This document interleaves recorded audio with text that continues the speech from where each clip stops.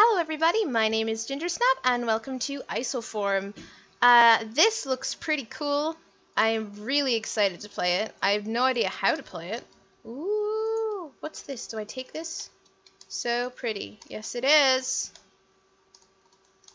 So how do I... Okay. Well, obviously... Ooh! Ooh! Ooh! Okay, well, uh, apparently I know how to...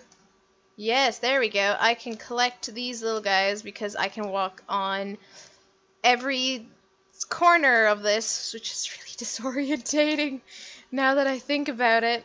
Um, can I walk on all sides of that too? Yeah, I kind of, I can. So am I like, I'm, obviously I'm collecting the little squares that I need to probably build that bridge? I need 20 of them.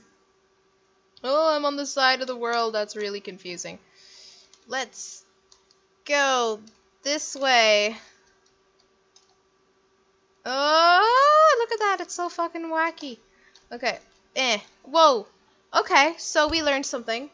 We cannot, uh... if we're like here, we can turn and land on it, but if we're up there, we can't. Like, if we're on the blue square, I don't think you can turn around the blue square. You can only turn on solid land. So, I'm confused. What am I making? It just says so pretty. It is pretty. This is true. It is very pretty. And what happens when I run out of squares, I wonder? Uh, do they just keep spawning in for me to collect so that I can, like, yeah, it looks kind of like they do. oh! We figured something out, though we didn't do it right when we should have. Crap. Okay. So I'm gonna go over here. Yes, there we go. This way. Up here. Yay! We did it! I don't know what we did exactly, other than move on to this other square, which is kind of cool. Can we go inside this barn? Is that a thing? Ooh, squares. I am building a world of squares. So I guess collecting the squares is like the idea of the game so far. Is what I'm get what I'm getting from it.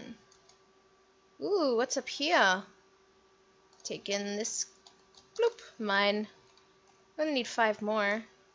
I feel like I'm going really slowly. What is this? What are you?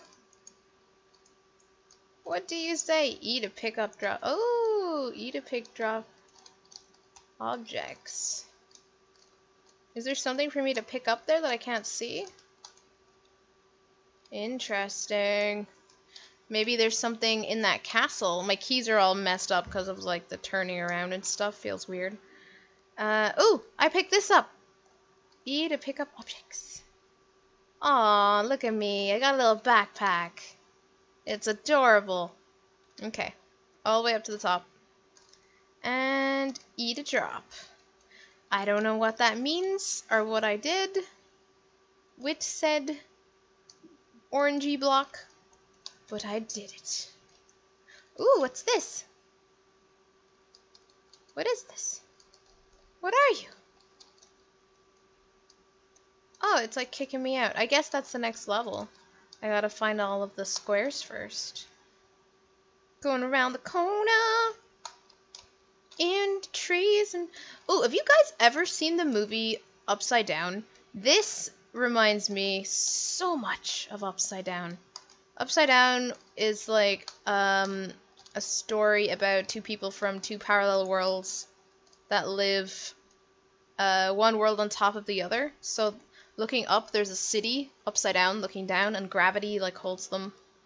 It it's crazy, fucking crazy. So the person from the bottom can't go up to the top, and the uh, and uh, or they'll actually start going on fire. It's really hard to explain because the matter from the lower goes on fire if it goes too high away from its gravity or something like that.